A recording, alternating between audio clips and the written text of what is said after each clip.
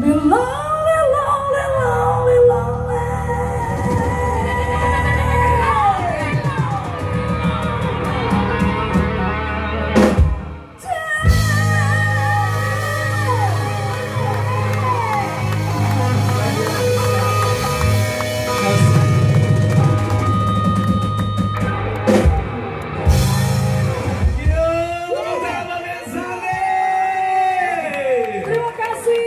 Terima kasih Pak Puspa dan keluarga, pokoknya semuanya yang hadir di sini.